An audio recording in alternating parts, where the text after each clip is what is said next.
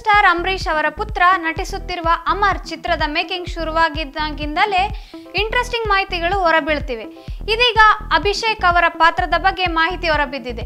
ಇನ್ನು ಅಮರ್ ಚಿತ್ರದ photo shoot ಹಾಗೂ ಮುಹೂರ್ತ ಆದಾಗಿನಿಂದ ಅಭಿಷೇಕ್ ಈ ಚಿತ್ರದಲ್ಲಿ ಯಾವ ರೋಲ್ ಮಾಡಬಹುದು ಎಂಬ ಕುತೂಹಲ ಎಲ್ಲರಿಗೂ ಇತ್ತು. ಇದೀಗ ಆ ಕುತೂಹಲಕ್ಕೆ ತೆರೆ ಬಿದ್ದಿದೆ. ಅಭಿಷೇಕ್ ಹಾಗೂ ನಾಯಕಿ ತಾನಿಯಾ ಇಬ್ಬರು ಈ ಸಿನಿಮಾದಲ್ಲಿ ಮೋಟಾರ್ ಕ್ರಾಸ್ ರೈಡರ್ಸ್ ಆಗಿ ನಟಿಸುತ್ತಿದ್ದಾರೆ ಎನ್ನಲಾಗ್ತಿದೆ. ಚಿತ್ರದ ಶೂಟಿಂಗ್ ಈಗಾಗಲೇ ಆರಂಭವಾಗಿದ್ದು ಚಿತ್ರತಂಡ ಕೊಯಂಬತ್ತೂರ್ನಲ್ಲಿ ಟೆಂಟ್ ಹಾಕಿದೆ. ಅಭಿಷೇಕ್ಗೆ ಬೈಕ್ ಕ್ರೇಜ್ ಇದ್ದರೂ ಮೋಟಾರ್ ರೇಸಿಂಗ್ ಅಭ್ಯಾಸ ಇಲ್ಲ.